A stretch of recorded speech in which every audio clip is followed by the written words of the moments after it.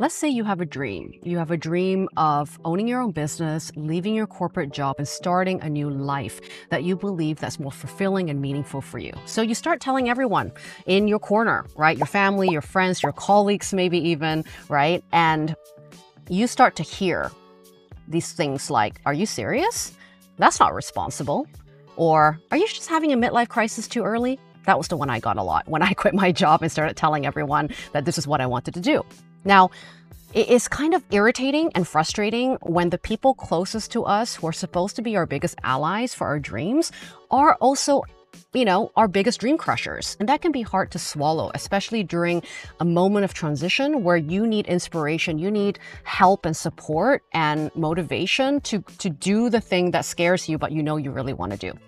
So in this video, I want to talk a little bit about how to handle dream crushers in your life when they are the people you love the most and probably people that mean well, but having these complicated, tricky, sticky conversations may not be easy. So I want to walk you through a couple ways to decipher, right, who are your allies, why they may not be uh, your family and friends, and how to handle some of these negative criticisms that can happen as you pursue your big dreams. When I quit my job over 10 years ago, um, I was quitting my job during a, a, bit of a recession, which was really interesting in terms of conversations I got to have with family and friends about the thing I was wanting to do, you know, and giving up a six figure job, giving up my insurance, giving up a sure thing, right, in my career. A lot of people came to me and really tried to talk me out of these dreams because they thought, man, this is the worst time to be doing something like that. And also, they were thinking a lot about what was happening in the economy and what was happening in their lives as well. Now, it certainly wasn't something I needed to hear at that time because I was already in that stage of like freaking out and needing more support, needing people to believe in my dreams so that I would feel the courage and build that courage in order to take that leap. Um, and what I really found out after you know, looking back and looking back at those conversations is that, you know, these dream crushers don't mean to be negative. I think people, when you tell people your dreams, um, people can tend to project their own fears about your situation when they start to look at their own situation, right? Like, so I would get people saying things like, oh, it's really normal to hate your job. It's really normal to not like it all the time. It's really normal to feel like after a vacation, you're depressed and going back to work is supposed to kind of feel like that on a Sunday night before a Monday morning, right? And so people try to normalize the situation, especially if they're not in the state that you're in where you're looking for something different or you're willing to take that risk to find something bigger in your life to pursue. They will tend to tell you the risks of making that choice because in a way uh, you're a mirror for them as well. They're they're talking to themselves, convincing themselves that they should also stay where they need to be staying so that they don't take the bigger risk that you're willing to take, right? So really know that it, it isn't a, a direct um what's the word like direct like um, offense to you. You know, it's not personal. I think when we share these dreams to sometimes the wrong people that are not in the same um, stage of life or the same desires or values that we have, um, we can get a lot of other people's biases, right? Their own narratives about what is possible, right? And it, they're really just talking out their own narrative and values, right? And it's up to you to want to believe those things or not, right? But making that choice of talking to the right people is a really good start to not end up in a conversation you don't really want to have, right?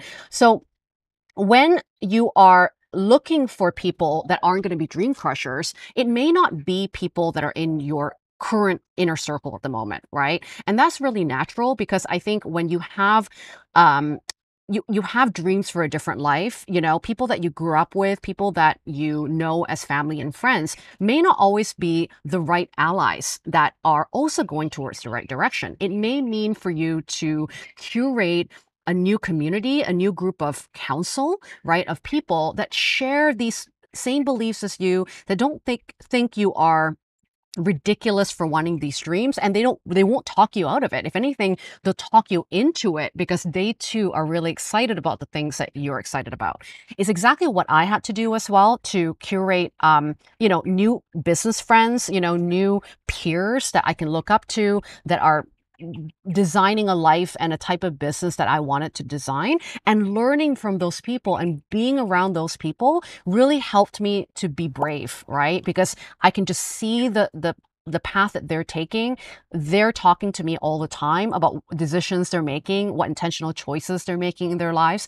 And it gives me that courage to know that, hey, I'm no different from them. And I too can have this dream. And so the, the people you surround yourself with during that inaugural conception of your new life, new ideas for business, whatever it is that is off the beaten track of what's traditional life, um, it's really important to surround yourself with people that believe in your dreams, that don't think you are you know, going crazy, right? For wanting this as well, right? That's going to really help you with that inspiration and motivation that's so essential in the beginning of taking a leap of faith like that. So seek the right support. Go out there and meet up with people, join groups, be part of a mentorship community, go and find coaches, mentors, people that you can be around and have feedback for the life that you want so that it normalizes this thing that you truly want in your life.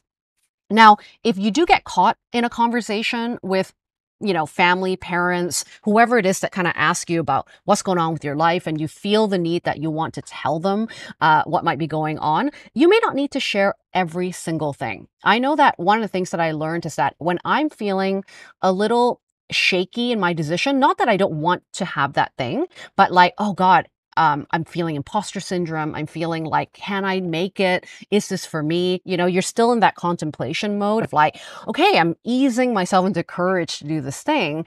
Um, it's, it's, when you start to share every single thing about your own insecurities sometimes around that dream it will prompt someone to go oh my god yeah don't don't do that don't don't don't take that risk right and then it's going to kind of keep you stuck to where you are instead of where you need to be need to go and who you need to become to have those dreams, right? So having some boundaries about what you share during the inaugural part of your dream is so important because you don't need to share every single thing. You can just share an intent. You know, it could sound like something like, "Hey, I'm thinking about, you know, like using my gifts and starting a business on my own to create more lifestyle freedom." That's just a dream I have. I think everyone wants more flexibility and autonomy. It's something I'm working towards. And and it can just kind of sound big picture like that versus like you know i've been trying to do this thing and you know it's not working out for me uh, i'm not quite sure about this i'm scared about that. You don't have to share those things with people because unfortunately the people that care about us the most like our parents our friends and family they just want to keep us safe. So keeping us safe is is making sure we don't do the thing that scares us which is not what we need right? To go and pursue our dreams, right? So boundaries about how you communicate, what you communicate on, not sharing every single piece of your dream to protect your dream, I think is a really important step. Um, and then accepting different perspectives. So if you do have someone that is a bit of a naysayer, they're like, oh, my uncle did this and he didn't succeed. And, you know, this is really hard. Know that that's just one reality. That's just one story out of many, many stories, right, out there in the world. And if that's not the right person to talk about, talk to about your dream, then you may want to limit that communication to that particular person, right? Um, and also accepting that everybody has an opinion and you can decide what opinions and narratives best suit who you want to be for the dream, for your dream to be realized, right? So that's going to help you to stay resilient, right? To those different changes, those different ups and downs that can happen when pursuing a big goal and, and being around people that can support you because they've gone through the similar pathway, they've gone through the trenches that you're about to get into, that is way better feedback and way better advice than someone who hasn't done it before and has tons of opinions to give you, right? But if you, it, when you're talking to, to, to these people who are naysayers, I think it's really important sometimes to also teach them how you want to be supported. You know, like that was something I had to do with my mother, who is Malaysian Asian, right? Where their language of love for Chinese moms are warning you about the worst case scenarios that can ever happen to you, because that's the way they keep you safe. That's the way of them showing I love you, right? And I didn't notice that when I used to get, you know, these kind of pushbacks from my mother. And she used to say, Well, I'm only telling you this because I love you, obviously. Um, and then I started to realize, oh, okay. So her intent is to love me. Her intent to say these warning signs about all these horrible things that can happen to me are part of a language of love that we may not see eye to eye, but her intent is pure. Her intent was for good. So it's up to me to teach her how I want to be loved how I need to get that support. So part of that is acknowledging right to my mother that thank you for caring for me thank you for taking the time to warn me about all these things but what is going to be more helpful to me right now because i am feeling a little uncertain and I really want to do this thing is I would really appreciate more positive affirmations, more things that can help me do this thing in a better way, right? Just support me by giving me a hug. Just support me by saying, I believe in you. You don't even need to give me a solution, but just having you you know, ha- like that you can support me and cheer me on, that means a lot to me right now. Can you do this for me? Right?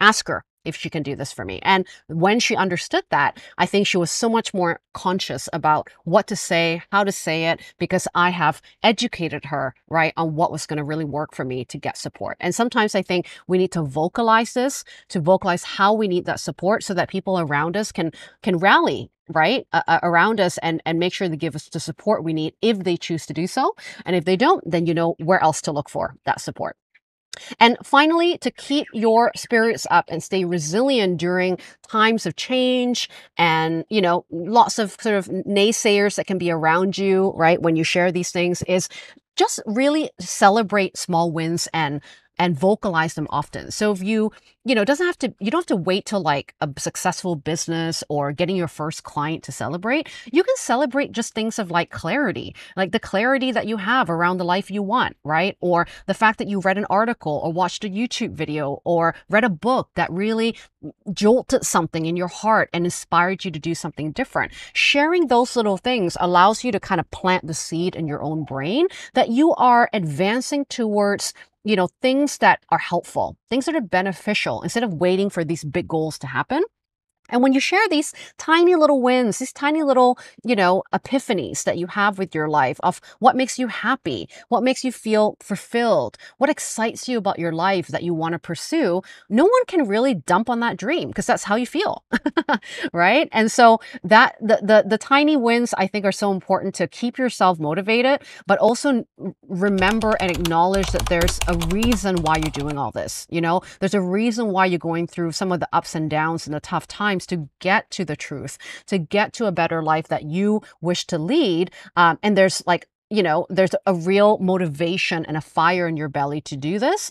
Uh, and sometimes we do need that pep talk. You know, we do need that that constant reminder of what is all for, that purpose behind our actions, so that when the going gets tough, we can rem- remind it of our purpose and our why around this this potential intention for ourselves. Okay. So um, I would love to hear from you. You know, how have you been dealing with, you know, naysayers or dream crushers in your life? Have you also found a different way to navigate some of these conversations? Um, have you found that you may have to kind of like clean up shop a little bit and curate a new community for yourself? And what's been helpful for you to, you know, gain that support, gain that, um, like feedback that is crucial and beneficial for your success and where have you found these people um, and yeah just anything that's really been helpful in your journey in your transition in your career in your transition to live a different life have the business of your dreams um, i want to hear it all let me know in the comments and i'll love to hear your story Thank you for joining me on mine today and um, learning with me on this video. And I'll see you in the next one. Have a good day.